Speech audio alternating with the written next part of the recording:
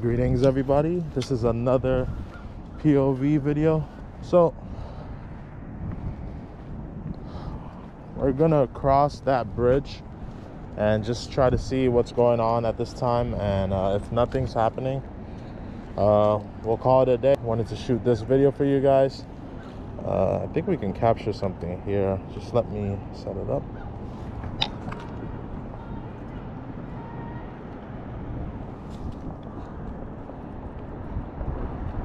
so don't know if you guys heard that uh, someone's yelling so why did I not set this up first That's that.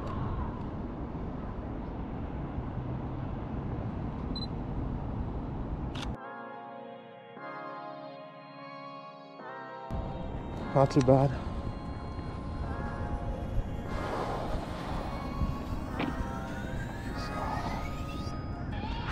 We're just gonna go around and see what's up. Uh, we can actually take a picture of this guy. This looks pretty cool.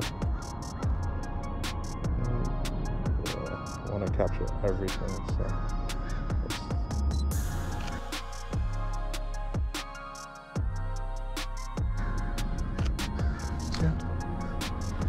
Here's the Bethlehem Square. Well, why do I keep calling it the square? This is it just looks like a square, the library, but I don't know why I keep calling it that. Maybe that's the wrong word I'm giving it. A lot of hawks for some reason. Not a huge fan of this guy here. I can never really get a good, meaningful photo. But other than that,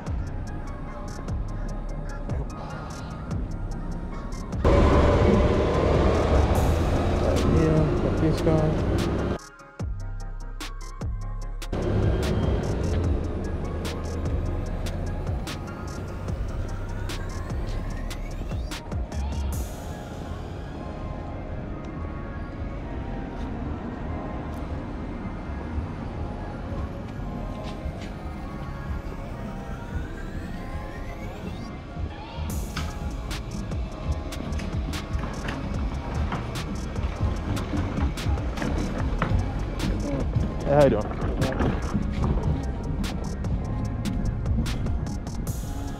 There's usually some pretty good statues down over here. I'm gonna take a quick photo of those. But yeah, just another photo walk. But yes, this guy. Focus on the head. Get the side profile. I don't really go around here that much. Uh, but when I do, it's usually just to take some photos, things that interest me. Uh, this is still in the area of the police department, so I don't want to get too crazy. But yes, here it is. This guy right here that looks like a portal.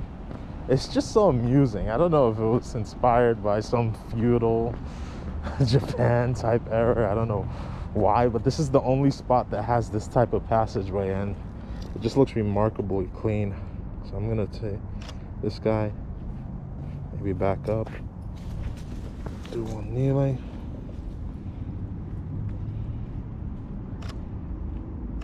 Awesome. But yeah, just feels like a portal. Let's see.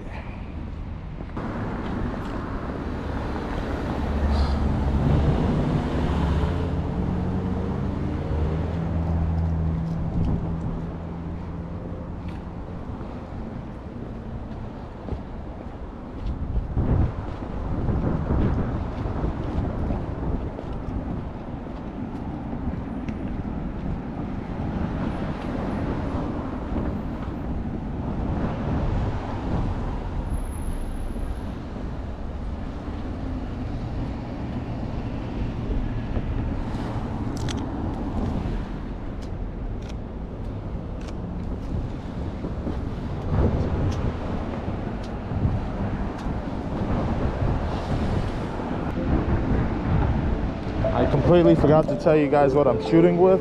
It's practically the 24 mil f1.4. I've had this lens for at least uh, five months now, and this is the part where you're gonna hear me yell a lot. Uh, because there's just too many cars passing by. So we're gonna take a quick shot right here.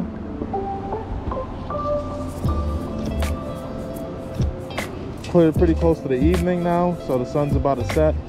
So I'm hoping I can grab some pretty nice shots here.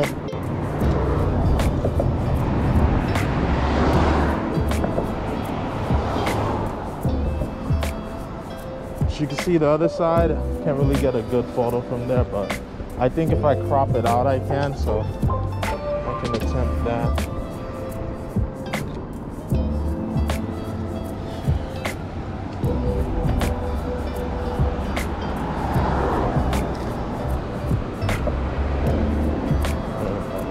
Pretty good right over here.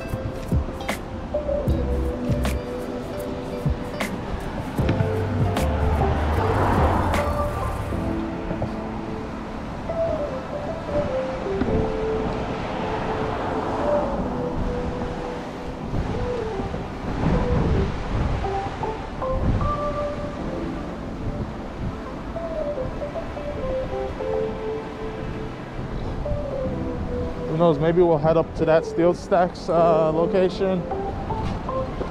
See if there's anything uh, intriguing. I don't think it's busy at this time. However, I'm not so sure if we'll make it by sunset.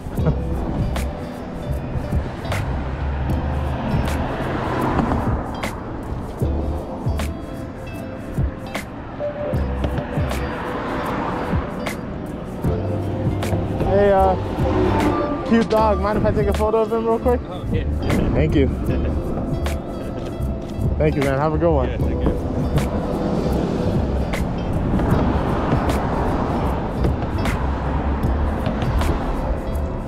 Ah, man. You know I had to. That looked clean.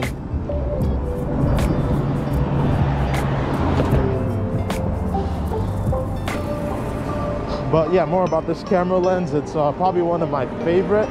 Uh, it doesn't have the range, obviously. It's more wider.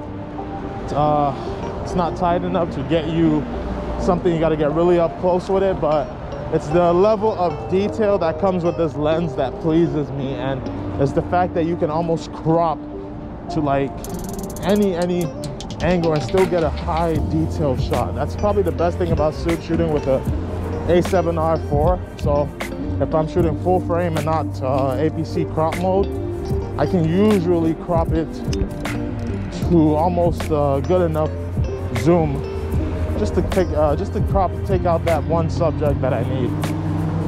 And uh, it works for almost anything. I mean, a lot of people tend to vouch for the 35 millimeter lenses, but in my opinion, the 24 is just as great. It is obviously wider, and the 35 might have some movie qualities, but sometimes it's just uh, what you prefer. And so far, I don't think I've made a mistake with this 1.4. It's just the right, perfect lens for me. I've used it for a lot of things too.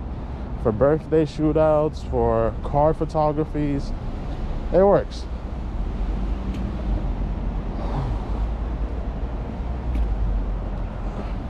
So yeah, here this is St. Luke's building. It a little bit gloomier.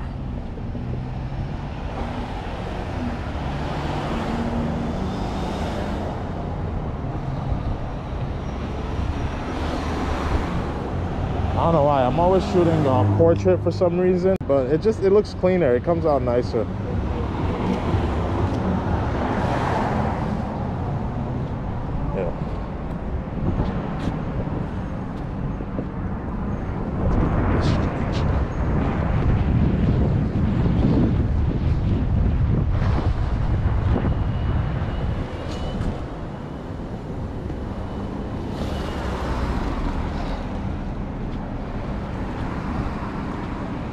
Oh wow, this looks pretty cool.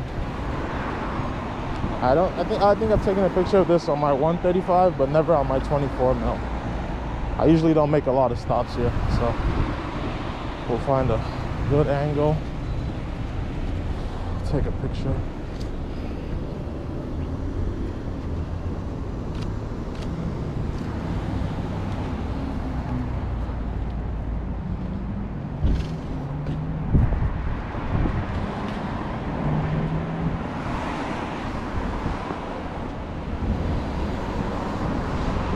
Yes. Yes, it does.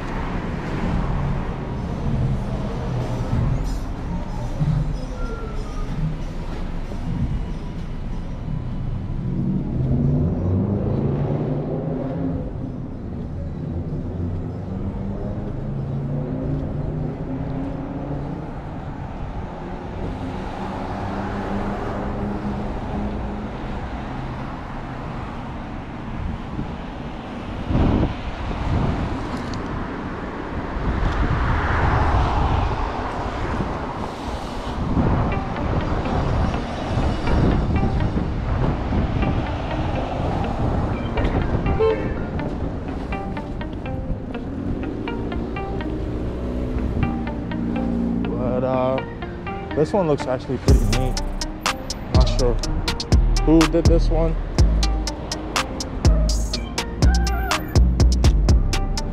Get a little bit closer to it.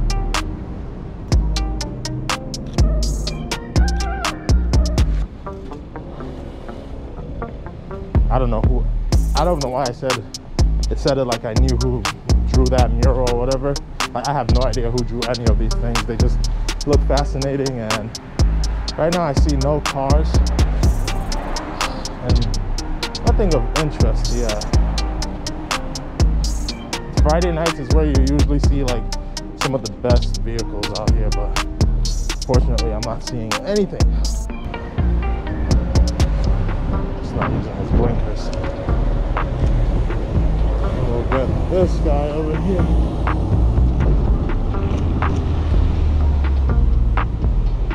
Sweet.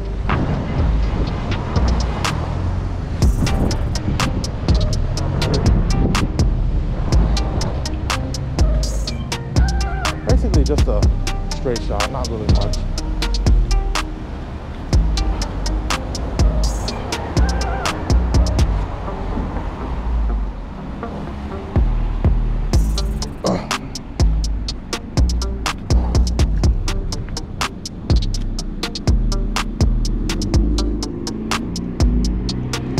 Quick with the, with the snappy snap. Get down to the steel stacks uh, before dark. See if we can capture anything. Ooh, I spoke too soon.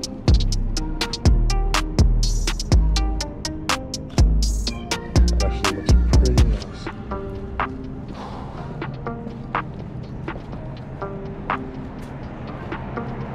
Oh, not too bad over here too.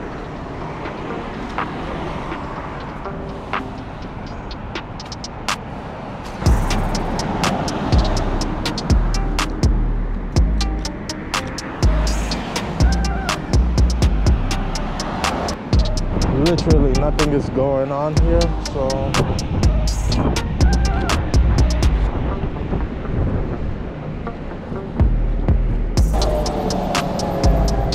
This is nice.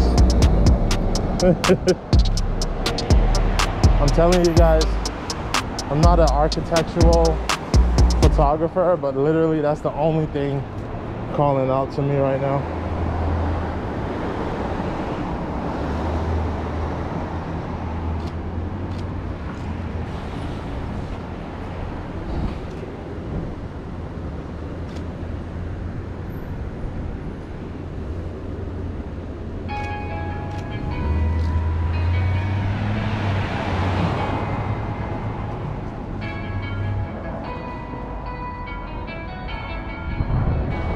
Yes, here we go. These are some of the old developments here.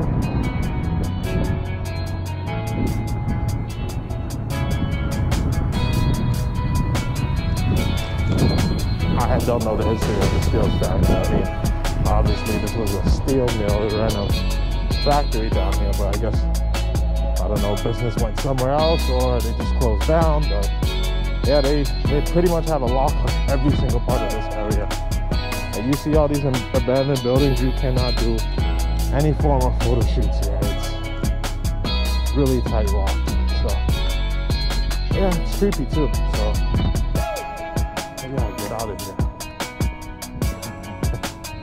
but there seems to be activity, so we'll keep walking. But my hands are freezing. yes, let's get a nice photo of the steel stacks. Hopefully some of you guys watching will be potential visitors here.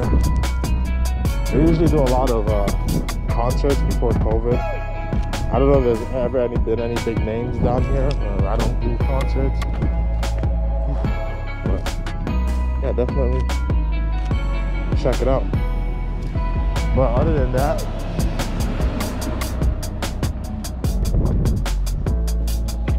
not of my interest.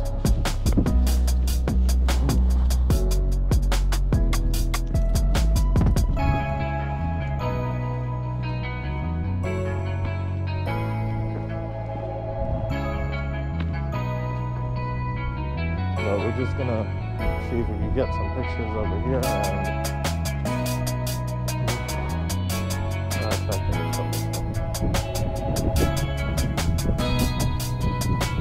some people actually do their car photography over here.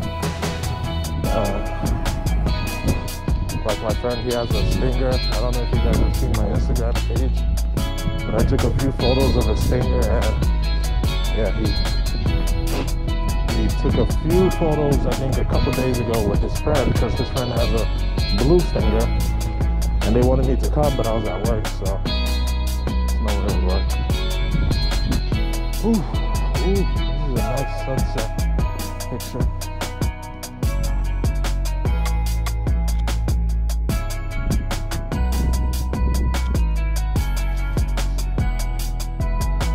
Right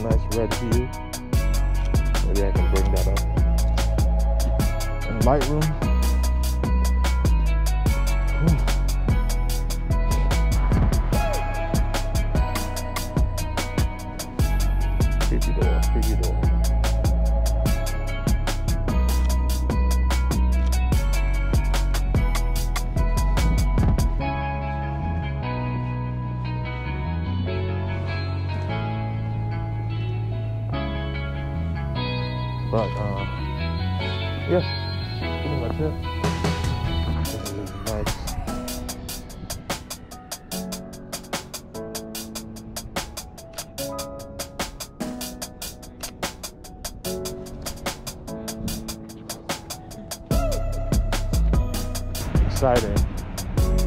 I think I need to hit up the big cities. And as much as I like this 24 millimeter lens, I'm still a shy photographer, so I don't really get up close to things and people. So I might just come back with my 135. You know, it's tighter. Obviously, it's used for headshots, things like that. Oh, that's nice. Uh, I don't think I got it at all. So that was too late. But yes, I would love just something that can I can shoot from afar.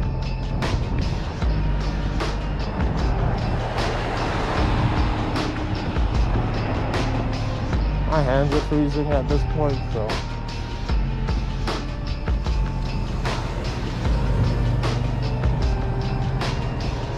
I think I'm just gonna call it a night.